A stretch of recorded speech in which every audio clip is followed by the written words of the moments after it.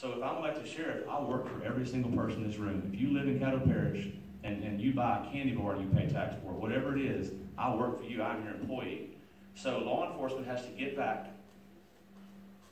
to an environment, a created environment, people where people realize who you are and what your real role is. So every police officer, every sheriff deputy, and every sheriff and every police chief works for you. Right now, when you get out, when someone stops, I'll tell you what, how many of you, if, if you have a choice of, right, of, of, of uh, being fearful of your, of your people in your community or fearful of the police, which one are you more fearful of?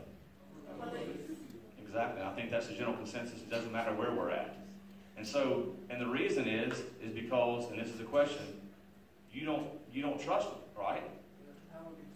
Exactly. And, you, and, and with, sorry, what you say? And so anything can happen.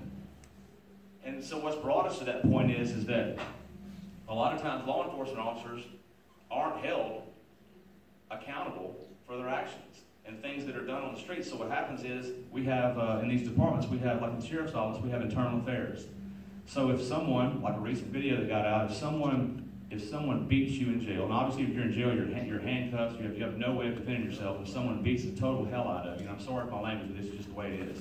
So if someone beats the hell out of you in jail, then what do you think happens to that deputy? Because what happens is police officers are policing police officers.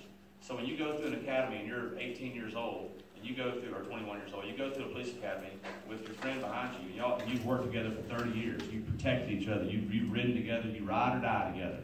And so what happens is you go in and you abuse someone in jail, you beat the fire out of them, and they send you to internal affairs. Your buddy behind you that you've been friends with forever, that's always ridden with you and protected you, he's the person that has to police you and determine what what what's going to happen to you.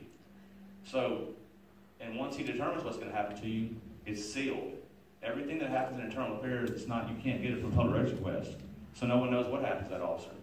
So that leads to a mistrust in the community because if they see that he got if you got away with something, he protected you. They're not. They're not one. They're not going to trust either one of you. But they're not going to know what your names are. They're not going to trust anybody else that works with you because of that.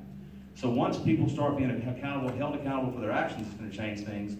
And once a sheriff is held accountable for the actions of all of his deputies and answers to them. Not only answers to them, but sometimes and a lot of times, a sheriff needs to offer a public apology, mean the public apology, and then and, and then put some put plans into place that will prevent it from happening again.